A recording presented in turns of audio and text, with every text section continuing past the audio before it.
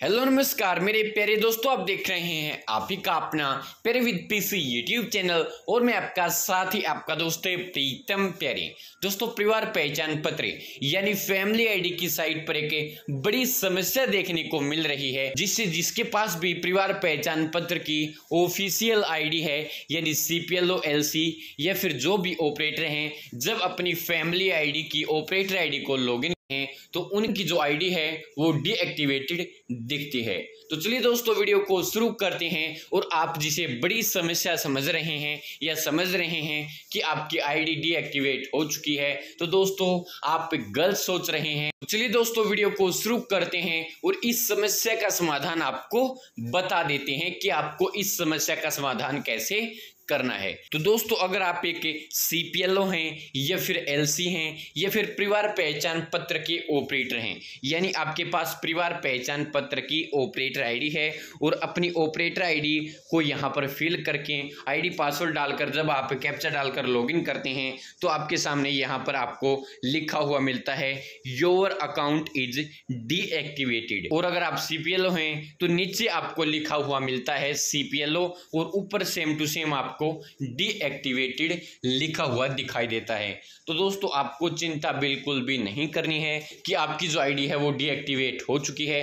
दोस्तों, सभी आईडियो में ही यह समस्या आई है, क्योंकि दोस्तों, सभी आईडियो के जो पासवर्ड हैं, वो अब काम नहीं करेंगे। सभी को अपना नया पासवर्ड बनाना होगा, नया पासवर्ड क्रिएट करना होगा।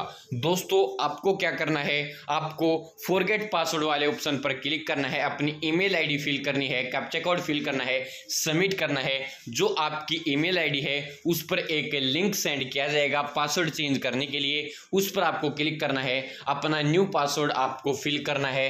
एक बार आपको पासवर्ड फिल करना है, फिर कन्फर्म करना है सबमिट कर देना है, आपका पासवर्ड चेंज हो जाएगा। फिर आपको अपना यूज़र नेम यानी अपनी ईमेल आईडी डालनी है, नया पासवर्ड डालना है कैप्चा कोड डालना है और अपनी आईडी को लॉगिन कर लेना है। बस इतनी सी बात थी।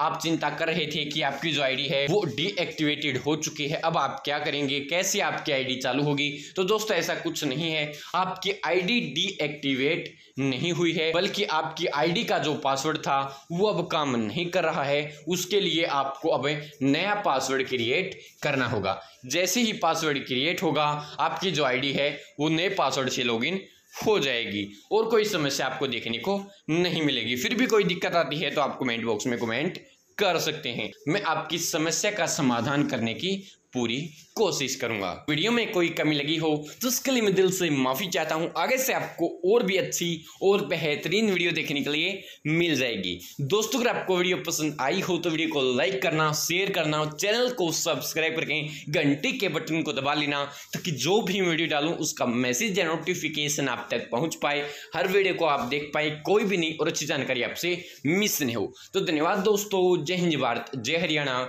जय जवान जय धन्यवाद मेरे प्यारे दोस्तों।